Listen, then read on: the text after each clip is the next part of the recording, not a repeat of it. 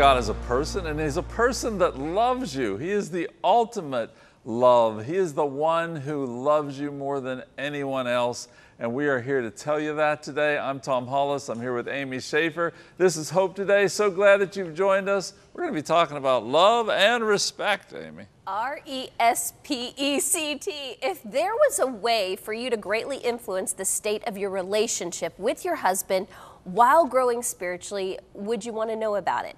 And more importantly, would you take action upon that knowledge? What if I told you in 40 days you could change how alone you feel, how much peace and joy you have in your life? There is a book about what works. Our guest author today, Nina Roesner, is here with her new book, The Respect Dare. Dare we today talk about respect? Let's go for it. Tom, I'm so excited to dive into this subject. You know, right in the first couple of pages, you know, by the way, I did not want my husband to watch me reading this book, but that's okay. That's, that's, another topic. Men are wired to interact with the world around them differently than women. Uh, yes. Uh, researchers have found that men's brains are psychologically different than women's brains. I mean, so we're approaching this thing of Anyone marriage. Anyone who's married already Amen. knows that much. That's what do we do about it, uh-huh, right? right. Yeah. so this respect dare is really going to challenge the women to really obey the commands of the Lord. Well, that's interesting. I'm sure it's going to challenge the men as well. Speaking of challenge, our uh, our producers love to challenge us with something we call Stump the Host.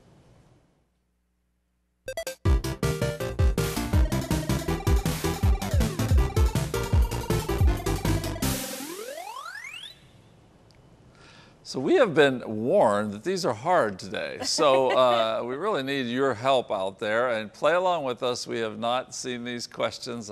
Hopefully we know the answers. Here's the first one.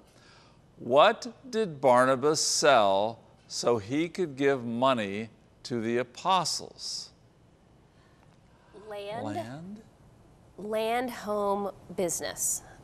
Um, I'm thinking I would say land. land. Uh, I think we'll, we will do our best guess here with land. Wait! Wait a second. It says land. It's there right. you go. Tom, they assumed we were going to miss thought, it. Talk about R-E-S-P-E-C-T. You thought we were going to. Let's we hear the. Let's hear the fanfare. the sound engineer here. we need confetti. Yeah, where's the confetti? We got there it right. we go. Thank all right, all right. We got the okay, first we got one that right. One right. Land. Okay, second question. Who did Stephen talk about when he said uh, that he could not so much as set his foot on? Moses. Uh, he was not able to set his foot into the promised land. That's what I yeah. think it might be. Could we go with does that sound good to you? Talk about yeah. Let's go with Moses. Abraham. Ah. Uh. Abraham. Son. Oh, it's Abraham, uh, Acts chapter 7. So, okay, we're one for one, not too okay. bad. Let's see what the last one is. What does the preacher of Ecclesiastes say increases sorrow? Um, I'm tempted to say money, but he says money answereth all. That's well, what he. Is it vanity? Uh, Increases yeah. sorrow? Let's or oh, it's vanity. Oh wait. my goodness, what increases sorrow? All you Ecclesiastes experts out there. Mm. Um, I'm really having trouble coming up with something. Um, I feel uncomfortable while they're with, waiting on me trying to think well, about the answer. you know, it's it feels like it's in there somewhere. like, like uh, I'm as digging. I'm, I'm, i know we're we're trying we're is... trying to host a show and think at the same time. Final answer. I need a final answer. Vanity or money. Money. Let's say money. Knowledge. Okay, That's I knew it was something like yes. that. All right, Respect not so good for our effort today because I mean you know, you read the Bible, but it's not like we have the whole Bible memorized, well, Tom. we should. I know. You're the book of Acts expert, and today I'm going to be the expert on respect. A long and happy marriage. It sounds like the end of a fairy tale, an illusion that modern times have exposed. And it is if marriage depends on a constant stream of romantic emotion or even on copious amounts of time and money. Thank the Lord that none of these are necessary. 2,000 years ago, Paul gave women the key to a successful marriage, and it can be summed up in two words. Are you ready? Unconditional respect. Nina Roesner is our guest, and she's written a book called The Respect Dare. Nina, welcome, I think, to Hope Today. yeah, it's a, a dicey topic for sure. Thanks for having me. as we were kind of talking about this book earlier, you said one of the first things I recommend is you take this book and you throw it against the wall. and then you pick it back up and actually apply it to your life. Why does it feel like that? oh, because we live in a culture that tells us that respect should be earned instead of communicating, I'm going to be a respectful person.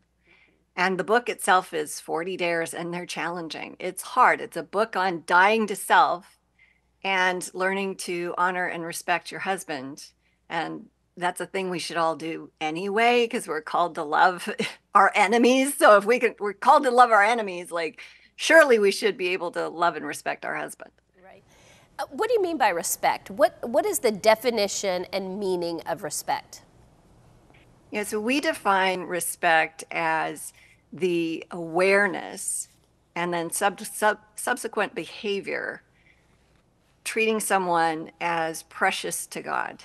Mm. So that awareness of their preciousness and then the behaviors that follow uh, communicates respect to someone. So, what advice did Paul give women to actually find success in marriage? Yeah, there wasn't a lot. It was just wives, respect your husbands. okay, what does that mean? yeah, it, it's challenging because women and men are different. Our brains are different. You mentioned that at the beginning of the show. And uh, the way that women communicate with women is really different than the way that men communicate with men. And so it's kind of like you got a dog and a cat together and you want them to get along and have friendship and love and all these things and it's like we speak different languages. And so as as a woman, we're more relationally wired unfortunately, but you know, we want to acknowledge our differences and celebrate them because God created us this way. You don't hear women ever say, Well, why do I have to be the one to have the baby? Like, no, we're wired for this. And so we can accept that and, and learn to nurture the relationship and the marriage because we're wired that way. Uh, I mean, I think you, you said a, a huge piece there is that we're different. Not only are we different, personalities and we've had different life experiences. We're different. I'm tempted to say yeah, spe- species, you know. Uh, mm-hmm. but uh, yep. you know, and, and, what do we do about that? Uh, again, you know, as as the man, you know, we're like, oh yeah, you got to respect me, you know. But what's that mean from from the man's point of view? Well, the good news is is that um, I, I I'm not a man, but I have a lot of uh, men in my life that have been working uh, since I was 13 in a corporation my dad owned. So I, have I had to move into the world of business at an early age, and that is based on the man's language. Professionalism comes from the the language that men speak because they were there first, and and so that culture exists. Uh, one of the big differences that we have is women are participative communicators. So if Amy and I are having a conversation, she might say, mm, yes, that, like, so, mm-hmm, you know, and those kinds of things. But those are perceived as interruptions to men. And men don't interrupt each other when they're speaking. They take turns. And if they do interrupt, it's to take control, it's a power move. So, one of the ways that women make men defensive or create an environment where it's really easy for him to be defensive is through our natural participative communication. It's really easy though to go, okay, I'm not going to do that with him because that doesn't work here. It's not that hard. You just answered a question from last night. My husband said you interrupt me, and I said I don't. So we're I'm participating. Uh, before we dive into a couple of these dares that are so great and challenging, what's your personal, you know, marriage story? Yeah, so uh, we got married 33 years ago, and I wasn't a Christian except uh, two week or two months before we got married. I gave my heart to Christ. We shouldn't have got married, but we did, and thank God for that because my husband was really influential in me. He was a Christian, so um, and, and then I I thought I was going to be marrying you know like James Dobson or Jesus or somebody, and so it was just a huge disappointment. my husband ended up being this human that you know was as flawed as I was, and so we had conflict, and and I was just so disappointed, and and, I thought I'd married the wrong person, and then um, God drugged me kicking and screaming through a study on respect um, about halfway, about twelve years ago, I guess, and um, it took me a minute to figure out how to actually do that, and we we've been separated we've thrown the divorce word at each other we've had appointments with lawyers right?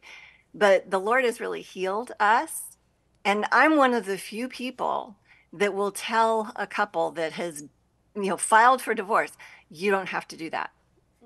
There's a way through. Here's the way walk in it. Like mm. he's shown us and there's tons of data from University of Washington, Dr. John Gottman, on what actually works, and it is not found in the average counseling office.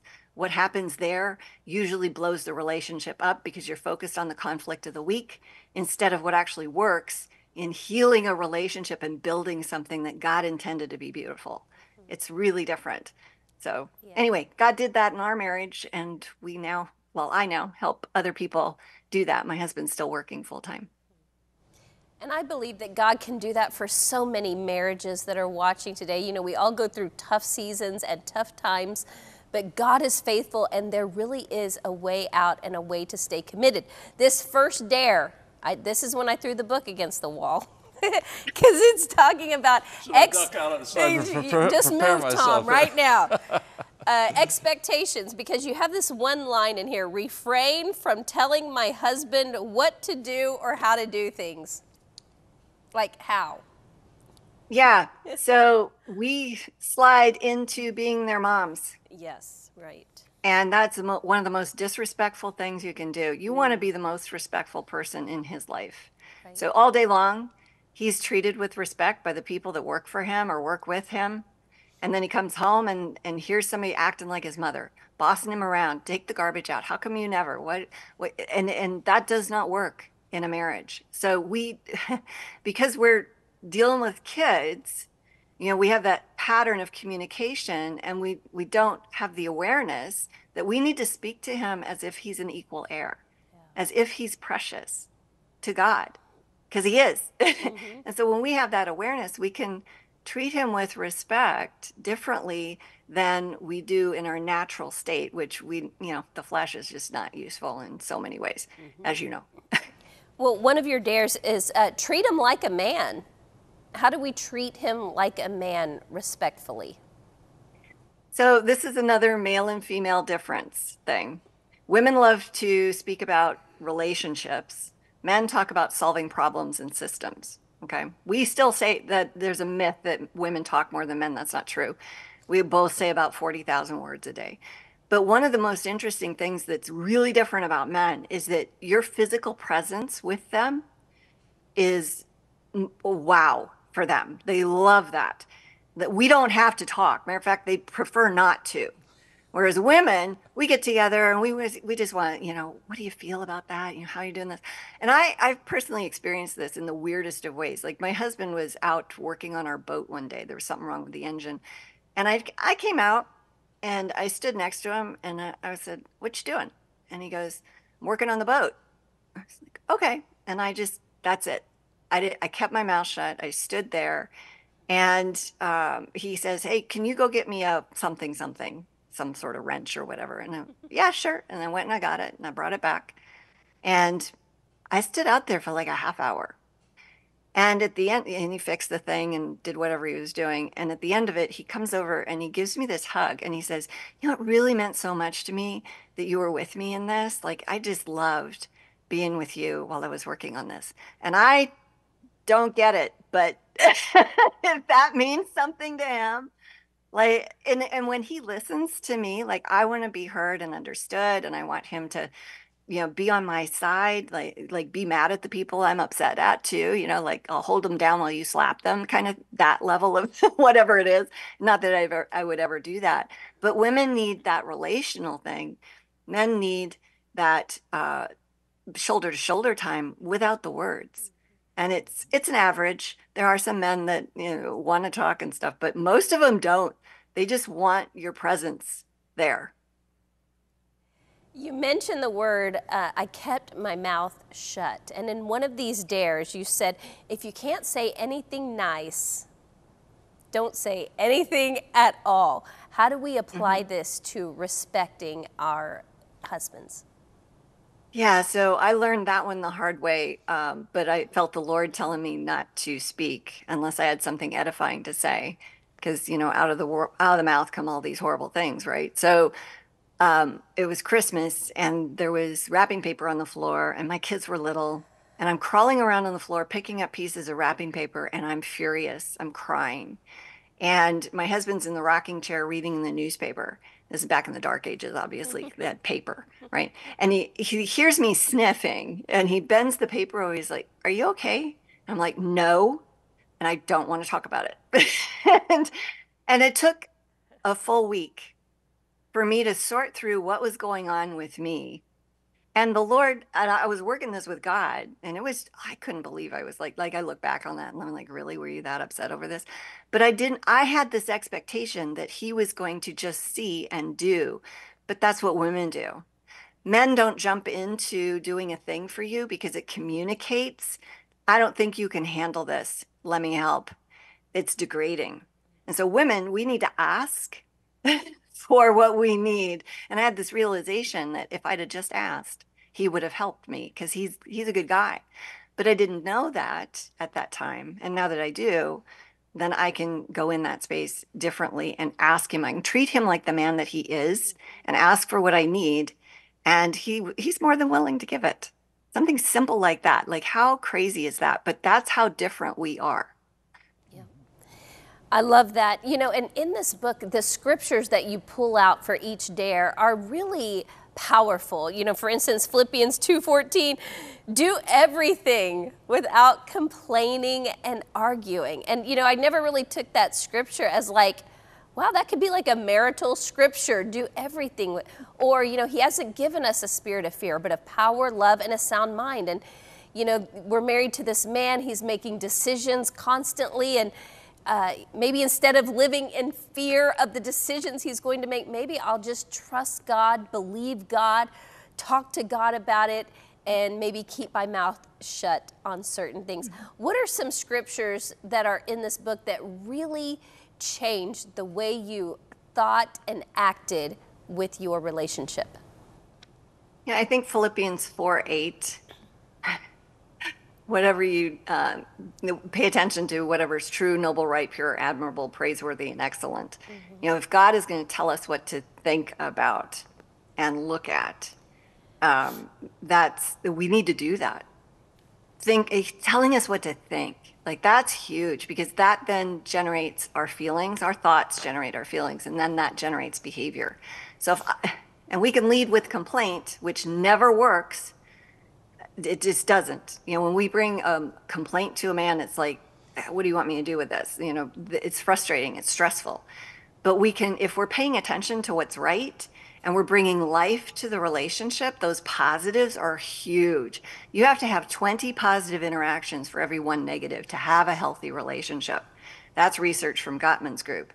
And it's really crazy because in a conflict, you have to have five positives for every one negative. You can't do that if you don't have, if your brain isn't trained to pay attention to what's good, noble, right, pure, admirable, praiseworthy, and excellent. We're focused on what's wrong. And so when we change our thinking and we get in alignment with how God wants us to think, it changes your relationship in a huge way.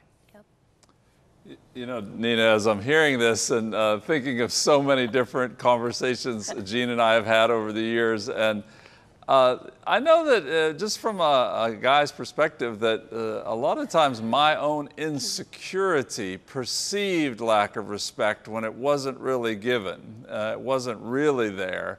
Uh, so much. I, it was a, I just was too insecure to handle uh, a, a, proper question or a proper uh, maybe challenge even at some point. And I, I, just want to say that I think that, that that is part of the responsibility on the man to uh, not be insecure and to allow uh, a proper conversation and proper interaction on these things. I'm sure you've, you've crossed this many times. Oh, I totally agree with that. In our classes, we teach people, um, men and women, the first boundary is have zero tolerance for any kind of emotional communication. Like if you're a little bit irritated, like don't don't speak. Say, "Hey, I love you and I want to work through this." When we can both be calm. I need to go sort this with God because I'm feeling something. And so we instead of sitting in that, we can stop the conversation because that insecurity show in men and women shows up as defensiveness and we're not supposed to take offense. So we need to deal with that instead of continuing the conversation, to your point. Thank you, Nina, for this incredible book, The Respect Dare. I really am going to keep this book, read it, be challenged by it, and apply it to my life. And I believe if our viewers will also, that their life and relationship with God and their marriage could change forever. So thanks for being with us today in this awesome book. Thank you for having me. Well, stay with us because when we return in 60 seconds, we're going to dive deeper into what the Bible says about loving and respecting our spouses. We'll be right back.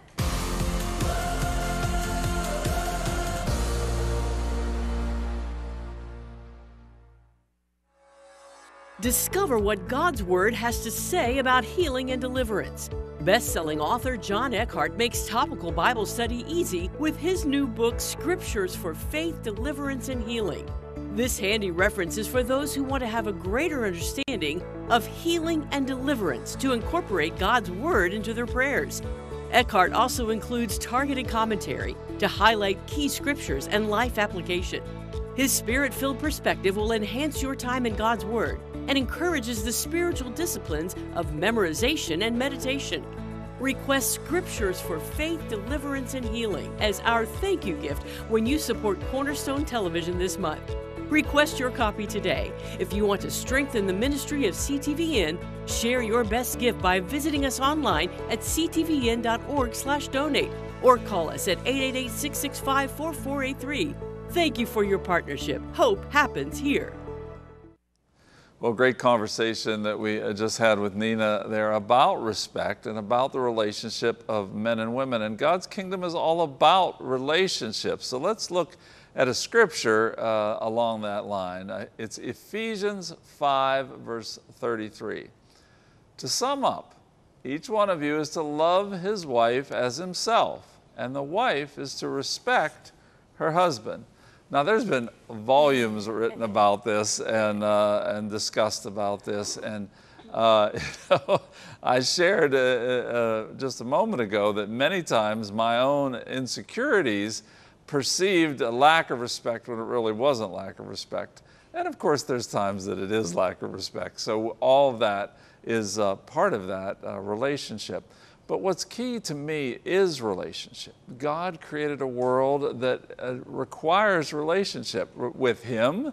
Uh, the first and most important relationship was inside the Trinity, the Father, Son, and Holy Spirit relating to each other for eternity. And that relationship is passed on to us. And so our first relationship, of course, is with God.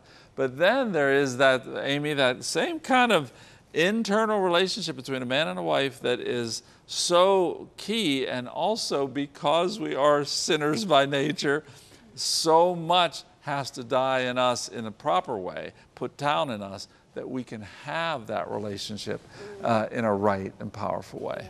Well, uh, to think that any of us are perfect, that we will have the perfect relationship, the perfect marriage, the perfect days, we're never going to miss it, they're never going to miss it, you're never, it's, it's, it's fantasy land. It's like, come on, we got we've got to be real about this. It's two different people, different backgrounds, different childhoods, raised differently and maybe in different parts of the world or the the United States and you're coming together the way God, by the way, ordained it and commissioned it to be, the two are going to become one flesh.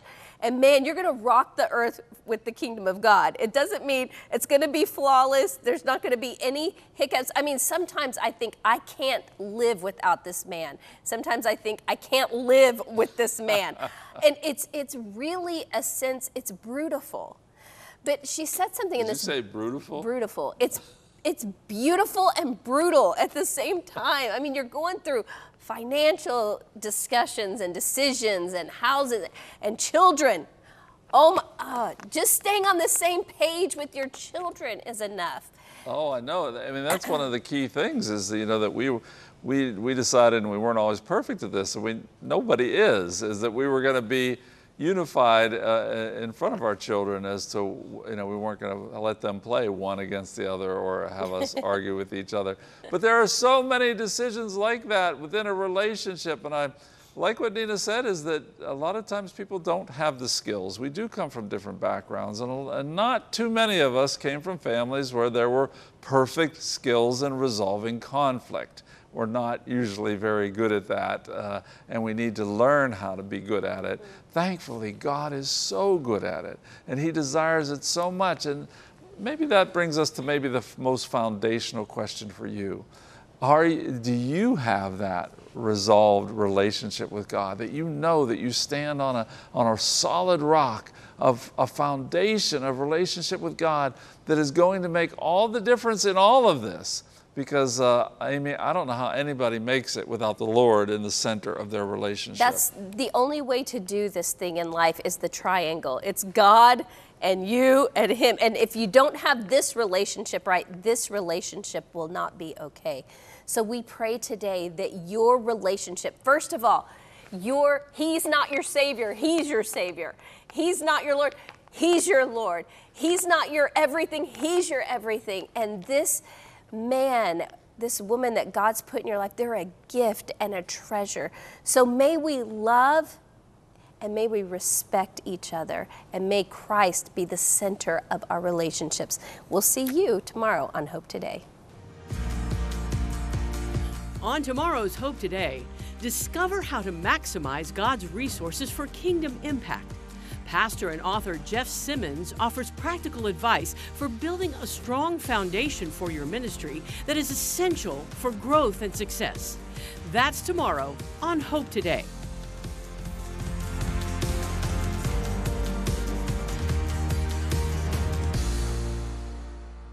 Cornerstone Television wishes to thank all our faithful viewers whose consistent prayers and financial support have made this program possible.